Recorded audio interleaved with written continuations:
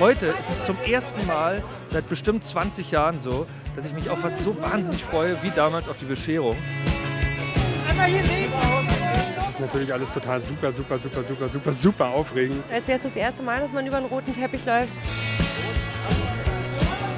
Ich hätte mir jetzt alles irgendwie größer und besser vorgestellt. Und Ich habe mir auch bei einiges größer bei dir vorgestellt.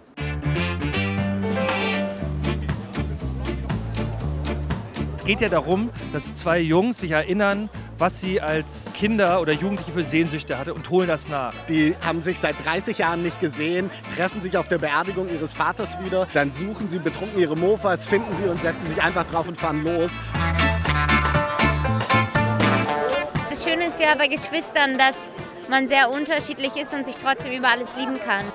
Und Familie ist was, auf das kann man sich besinnen. Die Familie kennt dich von Anfang an, von, vom ersten Atemzug an. Und das finde ich gerade in der heutigen Zeit ganz wichtig. Und das Schöne ist, dass es bei mir und Bjane inzwischen ein brüderliches Verhältnis zueinander haben und uns gefunden haben. Und da sind wir sehr dankbar. Wir teilen alles, sogar das Mikrofon. Die beiden zusammen, ich glaube, das wird einmal der Knaller.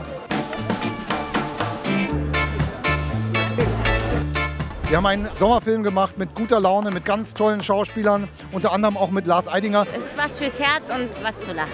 Finde ich ganz, äh, ganz toll gelungen. Ich glaube, dass der auch sehr berührend ist. Also mehr, mehr geht wirklich nicht. Geht ins Kino und dann viel Spaß beim Film.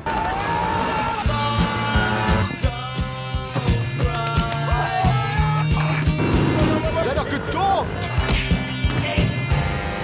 Schrei mich nicht so an!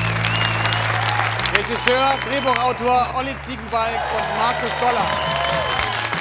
Hat's euch gefallen? Wir danken dir wirklich so sehr, dass du an den Film glaubst. Wotan, Wilke Möhren, Jella Hase, Alex Maria Lara, Jörgis Triebel. Euer Mut, eure Liebe zu den Figuren und euch gegenseitig geben dem Ganzen hier das Herz und die Seele und die Sonne. Danke für diesen Film. Ich liebe euch. Jane Nebel und Lars Eidinger, meine Damen und Herren.